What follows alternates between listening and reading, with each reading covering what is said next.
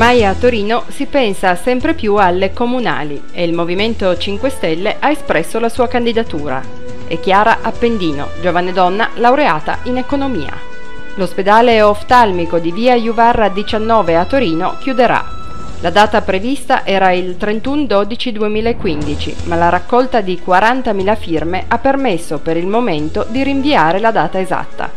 Piercarlo Peruchet, presidente del Comitato per la difesa dell'ospedale, ha spiegato quali saranno le conseguenze sul territorio. Il 20 e il 21 aprile 2016 il Lingotto di Torino ospita i robot. La manifestazione italiana della robotica porta i torinesi alla scoperta dell'automazione e della meccatronica. Fiera di San Baudolino ad Alessandria, Appuntamento tradizionale con le bancarelle ma anche con i prodotti tipici del territorio esposti soprattutto nel cortile della sede della Camera di Commercio ed è stata anche l'occasione per premiare alcuni imprenditori.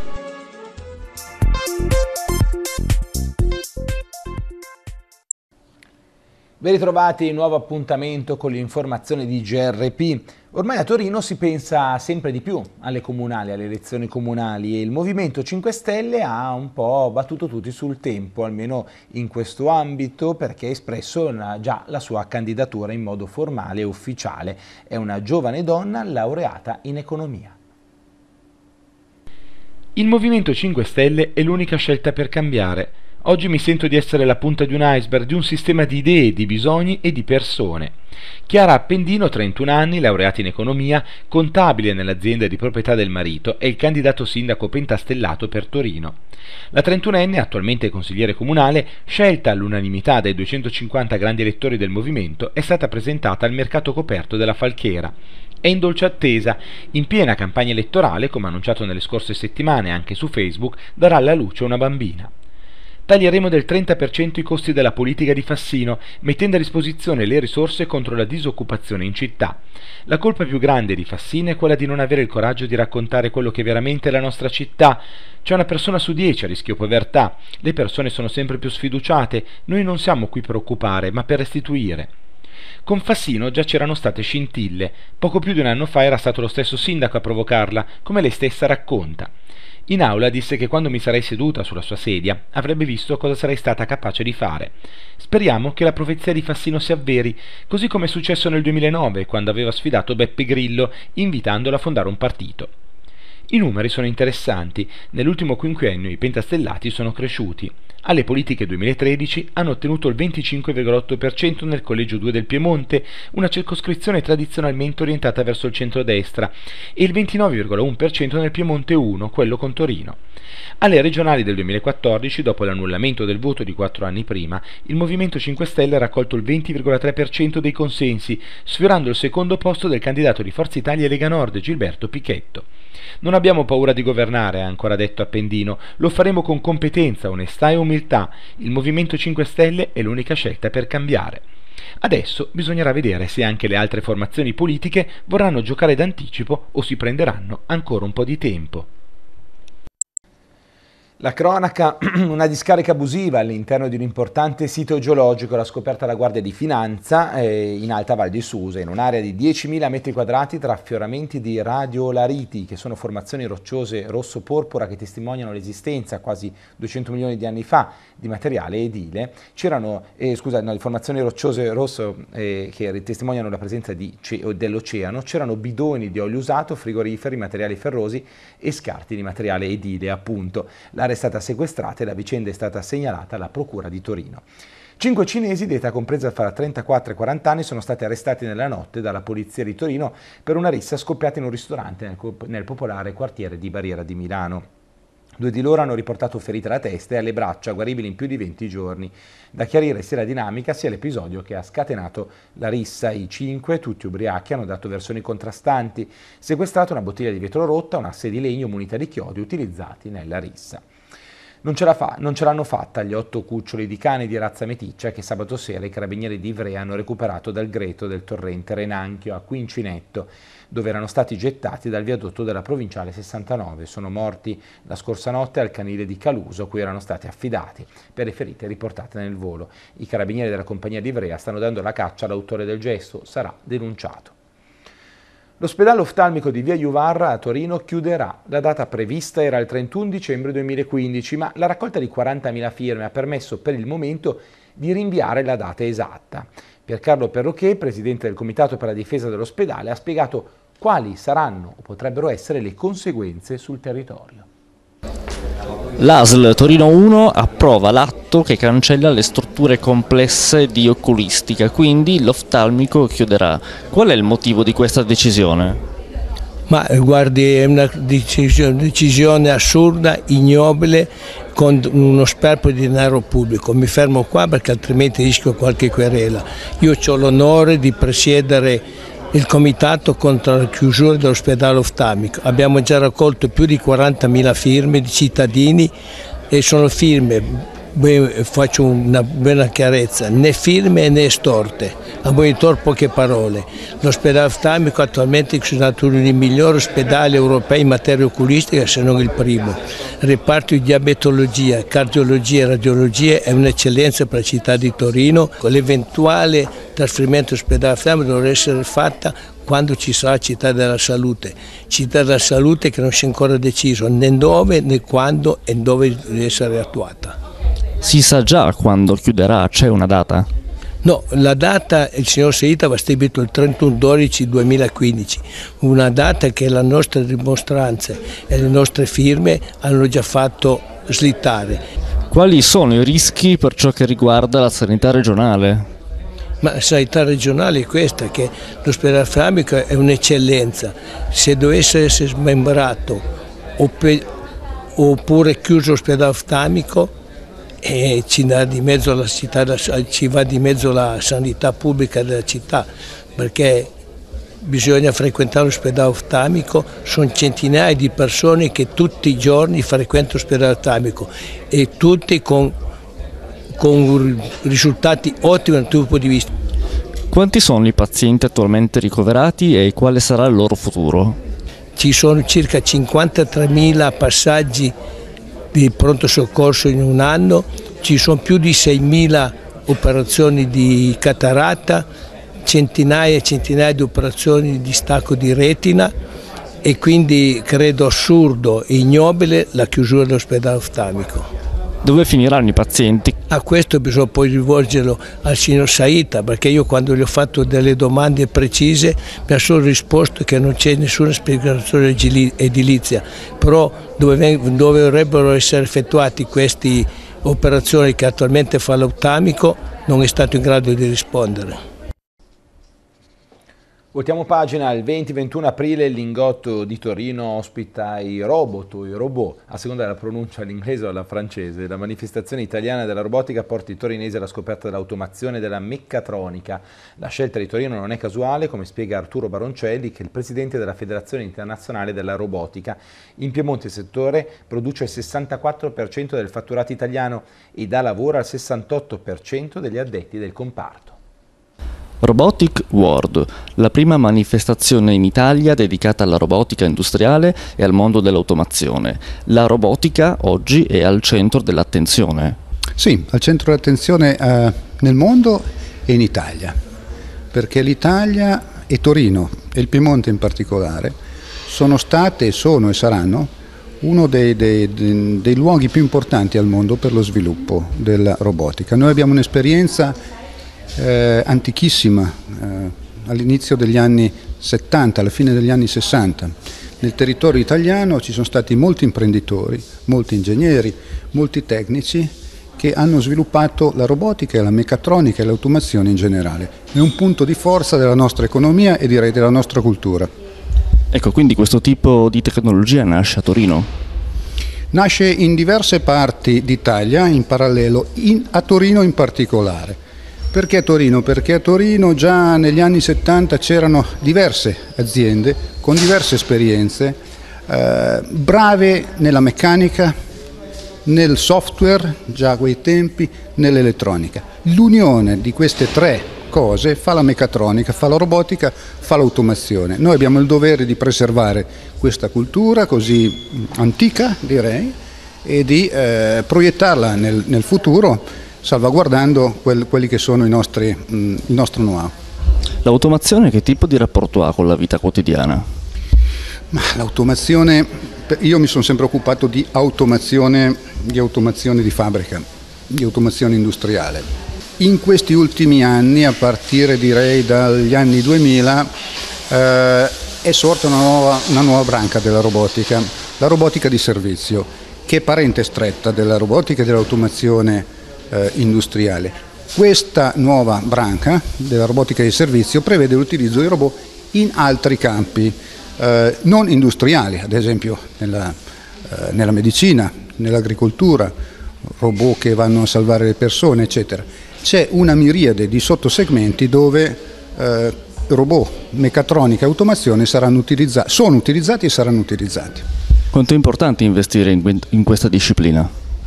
Enormemente. Primo, fa parte del nostro patrimonio culturale, non tecnico, culturale. In secondo luogo, noi non dobbiamo competere eh, sul costo del lavoro, noi dobbiamo competere con l'innovazione. Utilizzando la robotica, la meccatronica, l'automazione si inventano ogni giorno sia dei nuovi processi sia dei nuovi prodotti. Solo così si può progredire. La luce è sorgente di vita collegata all'arte, alla letteratura e alla scienza. Il 2015 è l'anno internazionale della luce e delle tecnologie basate proprio sulla luce. Con questi presupposti è stato presentato il percorso formativo per istituti scolastici primari e secondari di primo e secondo grado della Regione Piemonte il nuovo sviluppo, lo sviluppo che ancora una volta deve essere sostenibile e per essere tale deve avere una considerazione di quelle che sono le fonti fondamentali per la vita dell'uomo. La luce è sicuramente una di queste, è stata cantata dai, dai poeti ma non solo, è indispensabile vedere la luce per essere a posto con eh, il proprio corpo e con la propria biologia. La biologia animale e la biologia vegetale non possono fare a meno della luce. Allora riflettere su questo è una richiesta che il Centro UNESCO di Torino fa alle scuole di tutta la regione e della città, scuole dalla scuola elementare alla scuola secondaria di secondo grado, che eh, sono qui oggi per sentire gli esperti che spiegano alcune modalità di eh, come intendere la luce. Poi per i loro insegnanti ci sarà un corso di formazione che durerà in totale quattro incontri dove reincontreranno altri esperti che declineranno ulteriori aspetti di questa interessantissima attività rivolta alla luce alla fine di tutto questo gli insegnanti ritorneranno nelle loro classi dal mese di febbraio al mese di maggio, produrranno dei lavori insieme ai loro allievi e nel mese di maggio faremo una grande festa finale dove gli allievi si incontreranno, quest'anno gli iscritti sono 980, si incontreranno e saranno loro gli esperti che racconteranno ai loro coetanei che cosa hanno fatto e perché. Tutto questo verrà poi presentato all'UNESCO attraverso le solite modalità che il Centro UNESCO di Torino ormai da 25 anni propone, e cioè sia un volume che raccoglierà tutti i contributi degli insegnanti e degli studenti, sia un DVD con tutto quanto gli studenti hanno ricercato e hanno prodotto. Disagi per il traffico a Pralormo nel Torinese dove una cisterna che trasportava 12.000 litri di GPL si è ribaltata rimanendo danneggiata e perdendo parte del carico. Sul posto naturalmente sono intervenuti i vigili del fuoco che, sta, che hanno lavorato al travaso del gas in un'altra cisterna, i carabinieri che stanno indagando sull'accaduto e l'ambulanza del 118 che ha trasportato il conducente ferito ma per fortuna in modo non grave all'ospedale CTO di Torino. Eh, Fiera di San Baudolino ad Alessandria, appuntamento tradizionale con le bancarelle per il santo patrono che è San Baudolino, ma anche con i prodotti tipici del territorio esposti soprattutto nel cortile della sede della Camera di Commercio, ma è stata anche l'occasione per premiare alcuni imprenditori che hanno cercato, si sono impegnati per lo sviluppo dell'economia locale in città. San Baudolino si festeggia anche con una fiera. La fiera annuale infatti trae spunto dalla figura del patrono della città di Alessandria, giunta fino a noi dal racconto dello storico longobardo Paolo Diacono. Si tratta di una tradizione tutta locale, citata in qualche modo anche da Umberto Eco nel suo romanzo Baudolino, appunto. Il miglior esemplare unico premiato di tartufo bianco da 362 grammi è stato quello di Giovanni Dagna di Bergamasco. Un altro premio è andato al miglior gruppo di tartufo bianco da 2940 grammi, senza dubbio un bel peso, raccolto, o meglio trovato, da Giampaolo Guastavigna di Bergamasco. E poi è stata l'occasione per la Camera di Commercio di premiare coloro che per tanti anni hanno lavorato per lo sviluppo economico di questa città.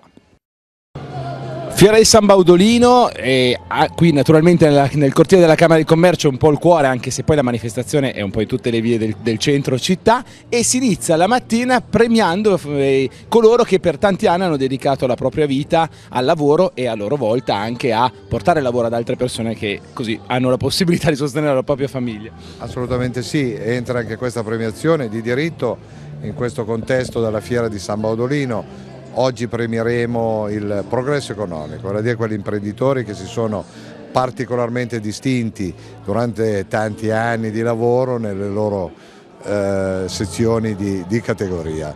È, per noi è, è, un motivo di orgoglio premiare, ma penso che sia un motivo di orgoglio anche eh, da parte degli imprenditori ricevere questo premio, perché io ho notato in questi anni che eh, è un premio che eh, viene esposto con orgoglio eh, nei negozi, nell'attività, nelle cascine, eh, per cui chi lo prende è, è, contento di prenderlo, noi siamo contenti di darlo. E adesso possiamo vedere dei bei tartufi, accanto a me c'è il presidente della giuria che ha valutato i tartufi presenti in concorso, Mario Palenzona. Com'è l'annata 2015? Per i vini è straordinaria, per i tartufi? Non eccezionale devo dire, purtroppo è una ripetizione degli anni passati eh, l'anno scorso è piovuto molto, si dava colpa alla troppa pioggia, quest'anno è piovuto poco e ha fatto molto caldo, si dà colpa al caldo. Eh, come i piatti dimostrano, di tartufo ce n'è, sì. però i cercatori si lamentano, credo, abbastanza giustamente, perché molte tartufaie che dovrebbero essere più produttive ad oggi hanno ancora dato poco. Ecco, però vediamo comunque che i prodotti sono naturalmente anche ottimi, ad esempio quelli qui in esposizione. Come, eh, quali sono i, i, criteri per valutare i tartufi? Come si fa a valutare un tartufo? Ma il tartufo lo valuta innanzitutto dal, dal profumo che esala che se è fresco come sono la maggior parte di quelli esposti è particolarmente valido e, e accattivante. Poi anche la forma, eh, come viene presentato, correttamente pulito e, e, poi il peso perché viene premiato oggi anche il tartufo eh, più bello ma anche più corposo. Lo diciamo con ironia naturalmente, una terribile questione investe il Piemonte, raviolo o agnolotto? Ad Alessandria è stato organizzato un festival per dirimere in qualche modo l'annosa questione. C'è chi li chiama ravioli, c'è chi li chiama appunto agnolotti, ma eh, sicuramente più o meno parla, si parla sempre dello stesso prodotto, cambia a seconda delle aree geografiche. La provincia di Alessandria ha questa peculiarità che una parte della provincia li chiama in un modo, un'altra parte della provincia li chiama nell'altro. Per dirimere appunto questa questione, la Camera di Commercio ha organizzato un festival con eh, una giuria di qualità, una giuria popolare proprio per cercare di capire qual è il miglior agnolotto della provincia, o raviolo. In alcune zone lo chiamano agnolotto, in altre raviolo, ma l'idea è sempre la stessa, un ripieno di carne avvolto nella pasta. Ad Alessandria la Camera di Commercio ha pensato di farne un festival con una vera e propria gara. Nove diversi tipi, ciascuno col suo sugo, sono stati giudicati da una giuria tecnica e da una popolare durante una particolarissima cena. Ad aggiudicarsi l'ambito premio sono stati Manuela Mascia e il marito Paolo Volpi della gastronomia Sapori Caserecci di Spinetta Marengo. Agnolotti e ravioli dunque la provincia di Alessandria è molto ricca sotto questo aspetto. Beh sì, eh, la provincia è suddivisa in eh, due aree, quella appenninica che chiama questo piatto raviolo e quella della pianura centrale della Fraschetta e del Basso Monferrato che lo chiama agnolotto. Quindi sono due nomi diversi che sono però una differenza, diciamo una differenza linguistica più che di contenuto, perché poi sia il raviolo che l'agnolotto contengono la carne. E le ricette si assomigliano, cambia, essenzialmente cambia la verdura. La verdura è il, la scarola nel centro della fraschetta, il cavolo nel Monferrato, la borragine nel Preappennino. Eh, il sugo in ogni caso è un sugo che è il fondo di cottura delle carni, questo sempre in ogni, in ogni caso. Eh, per il resto diciamo sono piatti abbastanza simili, molto cari comunque tutti gli alessandrini ed è questo che a noi abbiamo deciso come Slow Food di farne una manifestazione questo secondo anno ancora più estesa a tutta la provincia, quindi non solo all'area cittadina ma a tutta l'area del, della provincia di Alessandria. Quali sono i luoghi con le tradizioni più consolidate in provincia di Alessandria? Ma in realtà è diffusa in tutta la provincia, anzi direi in tutto il Piemonte, eh, l'agnolotto. Diciamo che eh, Gavi eh, vanta un patrocinio perché un gastronomo, Carletto Bergaglio, si è eh, diciamo inventato comunque l'origine di questo piatto del raviolo proprio nella città eh, sua, eh, città di, di, Gavi Ligure, naturalmente con pochi fondamenti storici di tutto questo. Per il resto diciamo che eh, tutti i piemontesi utilizzano l'agnolotto. Nasce perché? Come nasce questo, questo tipo appunto di, di piatto per unire insieme pasta e carne? Beh, eh, l'origine è molto antica, l'origine è del 1100 circa e la vediamo già citata, citata addirittura nel, da Boccaccio, citata nel 300, nel 400, quindi il termine agnolotto invece è più recente, nasce col Rinascimento, quindi molto più tardo come, come no.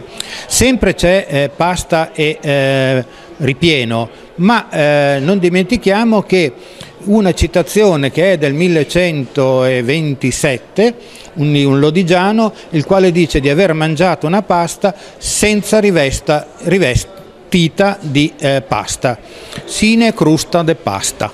Quindi anche già allora poteva essere un piatto senza la pasta. Scherzare sullo sport con caricature e vignette. Il Consiglio regionale del Piemonte ha fa lo ha fatto raccogliendo lo sport e i suoi protagonisti in un libro dedicato. Oltre al volume, anche una mostra. I protagonisti dell'iniziativa ci hanno raccontato come è nata questa idea. Caricature e vignette. Sullo sport e sugli sportivi del Piemonte si può anche scherzare. È quello che ha fatto il Consiglio regionale dedicandogli un libro e una mostra. Com'è nata l'idea? Nasce da una collaborazione col Consiglio regionale del Piemonte, una collaborazione instaurata da parecchi anni, eh, per cui abbiamo già fatto un'altra serie di mostre, alcune anche proprio legate al Piemonte. In particolare eh, ci siamo accorti che mancava una documentazione anche iconografica, quindi anche la ricerca di vecchi disegni per documentare tutti i, campioni piemontesi che hanno lavorato in Piemonte, che, hanno, eh, che, sono nati in Piemonte o che magari sono trasferiti e comunque sono diventati di, di fatto piemontesi. E per cui ecco, nasce da questo e poi anche dalla collaborazione con Benny che è un grandissimo caricaturista che si è reso disponibile per fare anche tavole nuove appositamente per il libro. Partiamo dagli anni, diciamo dagli anni 20 e arriviamo fino ai contemporanei, proprio in una carrellata abbastanza ampia. Quindi dagli anni 20 riassunti in quante pagine? Allora, eh, non è un riassunto, non è cronologica, eh, il libro e anche la mostra sono impostati per sport, per cui sono sparpagliate all'interno, allora troviamo il ciclismo e nel ciclismo ci sono gli anni 20 e poi coppie e poi andando avanti, eh, anche per quello che riguarda lo sci eh, troviamo i campioni del periodo e poi arriviamo fino ai campioni che, che più conosciamo, i campioni attuali. È stato un progetto molto interessante quello che mi è stato proposto dal Consiglio regionale eh, ben felice di partecipare perché insomma, lo sport è stata la mia prima passione a livello lavorativo, no? Quindi, mio, eh, i primi lavori che ho realizzato ormai già quasi vent'anni fa erano lavori di stampo sportivo. In più poi dopo andare a toccare dei personaggi che hanno fatto veramente la storia dello sport, non soltanto piemontese ma nazionale e mondiale. Quindi è stato assolutamente un piacere poter, poterli deformare, rivedere come così come, come, li, ho, come li, ho, li, avevo in testa io. Le eccellenze dello sport, dello sport piemontese, quindi la scelta è stata quasi obbligata, perché certi personaggi come Stefania Belmondo, come eh, Maurizio da Milano e tutti gli altri che siamo andati, che abbiamo trattato, erano quasi, quasi d'obbligo no? dover, dover, trattare, ma è stato assolutamente un piacere proprio per quello che hanno caratterizzato e hanno, e hanno dato allo sport italiano. Il personaggio è riuscito meglio o quello più difficile da rappresentare? Mm, solitamente diciamo, i protagonisti femminili sono quelli un pochettino più difficili da trattare, proprio perché comunque si cerca di utilizzare un, usare un po' i guanti bianchi, no? quantomeno non stravolgere o deformare eccessivamente i caratteri del, dei personaggi. Quello riuscito meglio, non lo so, forse per, eh, così, per esperienza personale, personaggi calcistici legati alla Juve e al Toro, sono quelli che forse sono riusciti un pochettino con più facilità. Qualcuno che si è offeso per la caricatura? Non ho ricevuto querele, quindi va bene. Bene, meglio così. Saranno 108 i ristoranti in Italia e in altre parti del mondo, da New York al Giappone, per un totale di oltre 12.800 posti a tavola che dal 20 al 22 novembre serviranno uno dei piatti più rappresentativi della gastronomia piemontese, ovvero la bagna cauda. La bagna cauda day parte da Asti, dove gli organizzatori hanno aggiunto un ingrediente, l'ironia legata al fatto che si tratta di una tipicità gastronomica a base di acciughe, peperoni e aglio, che non favorisce certo un alito particolarmente profumato. Durante la tre giorni, infatti, saranno distribuiti anche dei kit dopo bagna cauda con magnesia, dentifricio, chiamato Baciami Subito, e poi dei cioccolatini, dei palloncini, e, ma anche bavaglioni per i bagnacaudisti. Ci sarà anche il contest Instagram, eh, hashtag Baciami Subito, in occasione di altre due iniziative collaterali, la Barbera Kiss di mezzanotte e il Bagna Movie, eh, con una segna cinematografica dopo la mezzanotte. Vorremmo candidare la bagna cauda a patrimonio dell'umanità, come la pizza, ha detto Sergio Miravalle, e per questo stiamo collaborando con l'Università del Gusto di Pollenzo. Per ora è tutto, grazie per averci seguito, buon proseguimento con GRP.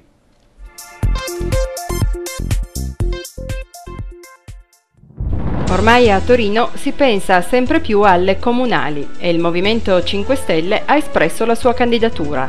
È Chiara Appendino, giovane donna laureata in economia.